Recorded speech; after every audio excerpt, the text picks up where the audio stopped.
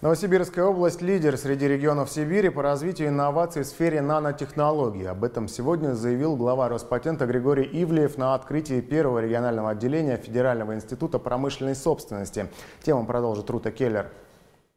Десятки научно-исследовательских институтов и высших учебных заведений, сотни идей и готовых разработок в сфере нано- и биотехнологий. Теперь у наших изобретателей и ученых появилась возможность заявить о своих достижениях на весь мир. Единственное региональное отделение Роспатента открыли сегодня в Новосибирском академгородке. Инвестиционный климат для нас здесь, в Новосибирске, весьма благоприятен.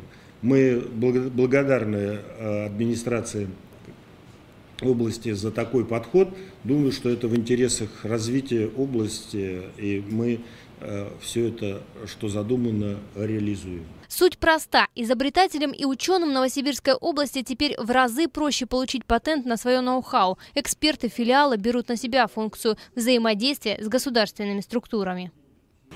Подчеркиваю, возможности, практически неограниченные возможности. По скорости, ну, по некоторым э, компонентам, прошу прощения, это даже быстрее, чем в Москве. Сегодня Новосибирская область на пятом месте в рейтинге Ассоциации инновационных регионов России. Задача – выйти в тройку лидеров. Рута Киллер, Андрей Баев, Александр Егоров. Новости ОТС.